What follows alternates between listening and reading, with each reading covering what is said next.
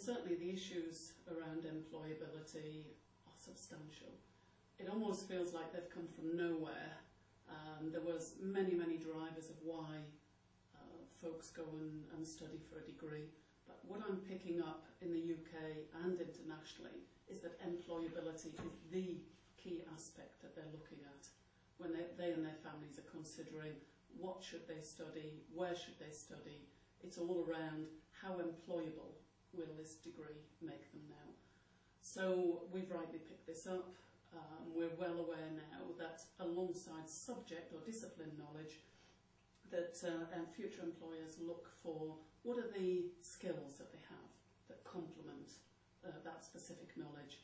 And that balance, I guess, has changed. An employer would very much look for what's the knowledge that the person's acquired. Now they're looking at what are the skills that they've acquired help their businesses be versatile, be adaptable, really help them push forward their business in this incredibly competitive market.